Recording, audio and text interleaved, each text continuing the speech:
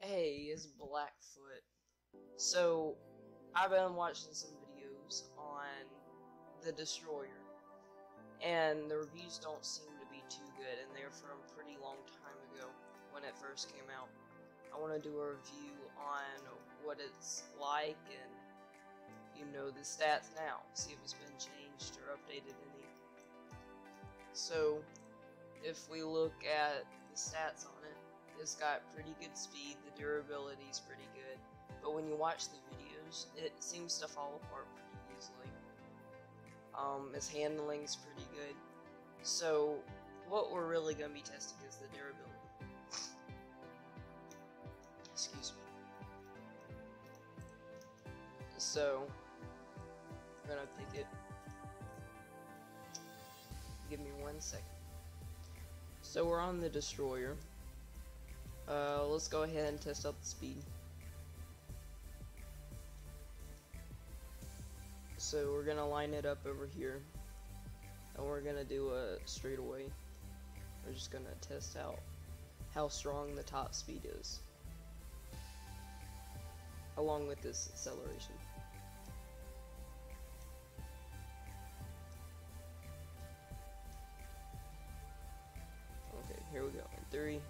Two, one.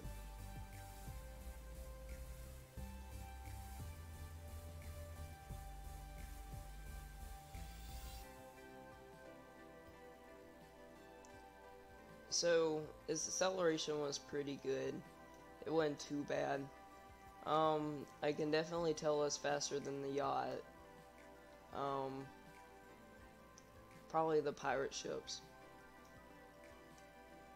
I'd say his speed is pretty good. It's definitely not as fast as Spectra though, which is, you know, expected. But I'd say it's pretty good. So now let's test the handling.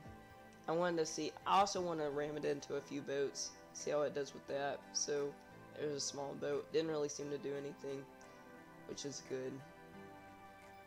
So we're gonna do a sharp turn, sharp, sharp turn around this island.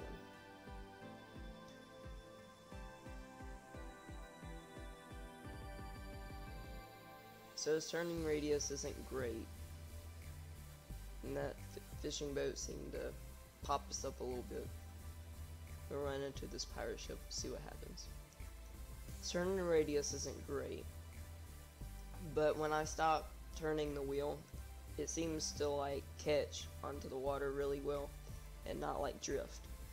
So we run into the pirate ship and it seems to just like kind of flip it over. When it comes out of the water, that's when it becomes unstable. So, that's not great. So, for this round, we're going to be testing the durability. So, what we're going to be doing is we're going to be ramming the destroyer into the shark. We're going to see how many parts fly apart.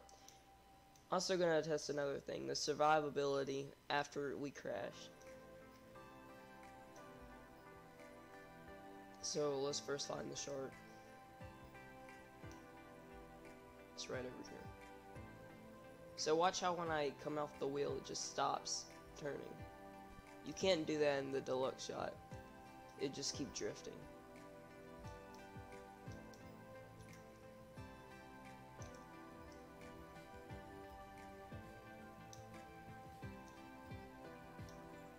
Don't know why the shark's running away. It's kind of odd.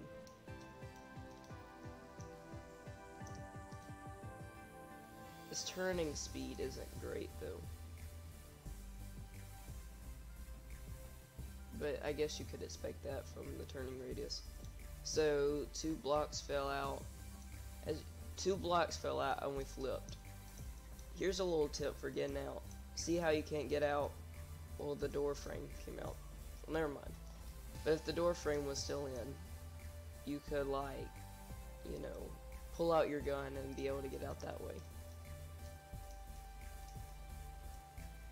So you could see over there, it goes into a bunch of pieces. Some of those pieces float and some of them don't. So the best thing to do is probably get on top, and you want to shield yourself away from the shark over there.